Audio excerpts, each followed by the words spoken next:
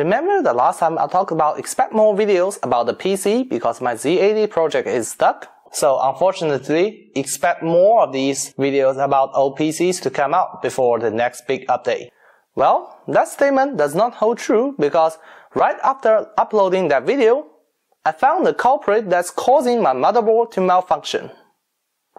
So, this is the big Z80 update that you've been hoping for. Hi, I'm Andy, and welcome to my retro mess. Okay, let's skip that part.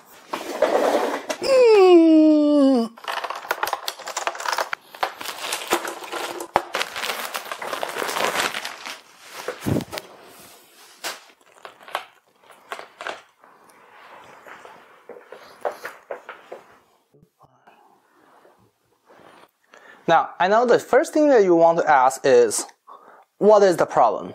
Well, the problem is here. This is the address decoder chip for the ROM and all the RAMs. There are two kinds of RAM here. These four are 32K. These three are 108K. They combined to make 512K of physical address space. Of course, the Z80 cannot access 512K of RAM. So, I added these two chips to act as a, these are SRAM chips, to act as a mapper or pager if you, or MMU if you want to call it that. But the problem is when this board is booted up, these two SRAM contains garbage data. There's no guarantee that any pattern will appear in the SRAM. So the Z80, when it jumps to the reset vector, which is at address 0000, it will get some random data from any of these chips. And it might probably get garbage too because these are all RAM banks. Only this one is an EEPROM or EEPROM. Yeah. So I added a switch, a, so a software switch to disable paging at boot up. And that causes a problem because when you disable paging, the upper address bits needs to be something, but without paging, you cannot provide those address bits. So I added this. I don't know if it's possible to see See like the light between that line of light between these chips. That is actually a resistor pack which pulls those address bits down. However, because my address decoder is a TTL chip, it outputs some current to its input pins, and in this case, the address pins. And because my resistor pack have like a 10k resistance, that current actually pulls the bus high enough so that the address decoder thing that it is accessing the top of the RAM instead of the bottom, which is my ROM.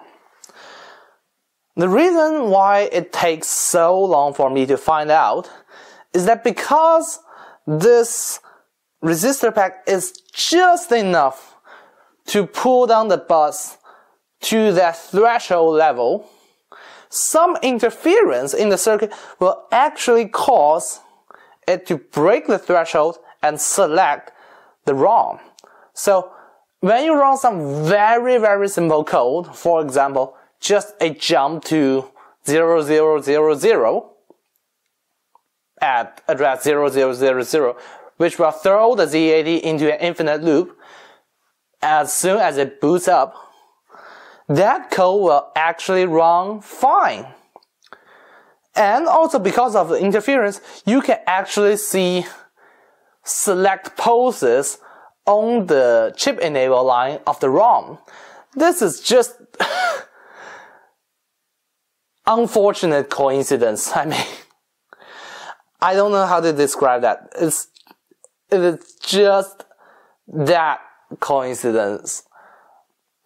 I actually want to measure the current output from the address decoder chip and make a video about that because it's not linear, which is interesting.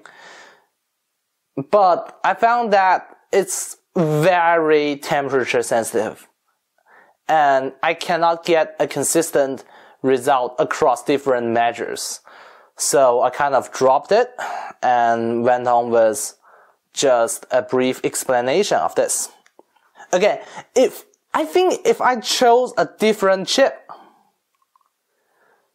there may not be any chip enabled poses and that would help me zero in the problem pretty fast. But it's just that chip in just that condition. I mean, I may sound quote Nick Robinson sound like a certain G man, right? The the right chip in the right place. I mean, but it stalled the whole project.